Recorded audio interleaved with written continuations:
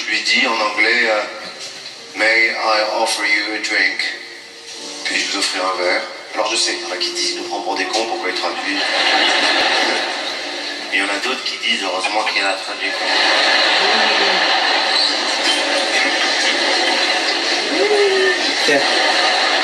Fille, elle m'a dit No, I'm fine. C'est très étrange quand tu traduis. Oui. Que le et que bien. la fille te dit non, je vais bien. En France, c'est totalement le contraire. Quoi. Si une fille te dit je vais bien, tu dis bah justement, un coup. Elle me dit non, I'm fine. Je suis reparti un peu déçu. Et là, à ce moment-là, imaginez, on est aux États-Unis, totalement inconnu. Minuit et demi, un bar. Et là, il y a un Oui, groupe de touristes français qui rentrent dans le bar. Oui. Ils me reconnaissent. Hé, Gabelle Abel J'étais tellement en manque, j'ai dit ouais, c'est moi. Le mec m'a dit ça te dérange pas un autographe Je dis t'es fou, donne. J'étais chaud, je lui ai fait une rédaction, le gars, j'étais un fou. Des dessins, tout, il m'a dit photo, je dis non, caméra, ambiance, ouais, vas-y. Je dis tu me la tweets, tu me la tags, tu me la likes, tu fais ce que tu veux, vas-y. Il y en a un, il m'a dit je peux te faire un bisou, je lui dis viens dormir à la maison. Et c'est là qu'elle a commencé à s'intéresser à moi, tu vois l'esprit Elle est venue vers moi, elle m'a dit en anglais Who the fuck are you? Quel genre de Oui. Oui. Très bien ça. Elle m'a Tiens. dit moi, non, t'es rien, well. Elle m'a dit à son tour, mais I offer you a drink, je dit non. Très bien ça. Qu'est-ce que j'ai fait? Et je suis rentré à l'hôtel, tout seul, comme tous les soirs en tournée. Ouais. Ouais, ouais, ce soir aussi, hein. Ah. Ah. Du Zénith, tout à l'heure, elle m'a demandé d'enlever l'étiquette, sinon c'était considéré comme de la publicité. Alors par respect, je l'ai enlevé. Elle voulait pas qu'on sache que c'était de la cristalline.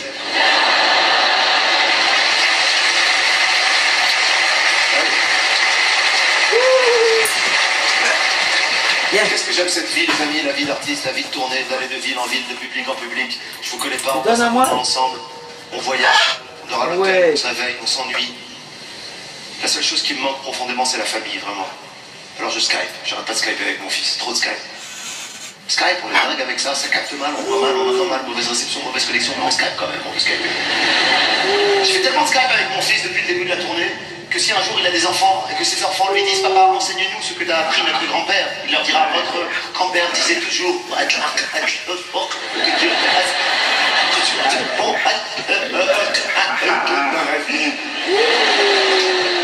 Skype tout le temps, avec mes parents aussi, bon ça c'est un autre délire, hein. même s'il y a une bonne connexion, ils savent pas s'en servir. Ma mère, elle n'a pas capté le délire, je sais pas pourquoi. Voilà. Ma mère, elle veut, euh, je sais pas, Yes, c'est ce fait. Gros plan, plan large, euh, travelling arrière dans la cuisine. Oui.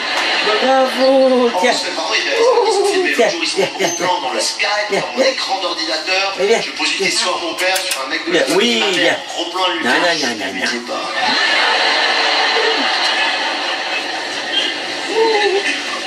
Non, les enfants, ils savent s'en servir.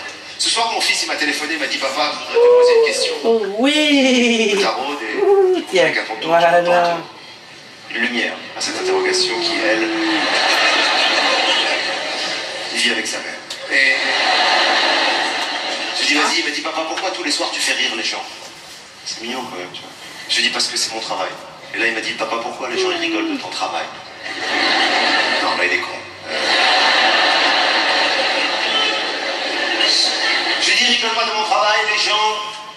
Fait, ils ont besoin de rire en France. Surtout en ce moment. Et moi, j'ai besoin de les faire rire en France. En ce moment. Et donc, on va rire ensemble. Et là, il m'a posé une question tellement touchante. Il m'a dit, ok, papa, mais comment tu fais quand c'est toi qui as besoin de rire? Oui. Encore. Non, Je lui dis, j'ai le portable de Jamel Debbouze.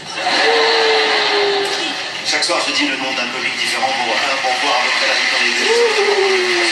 Je m'assois, j'essaierai Florence Foresti.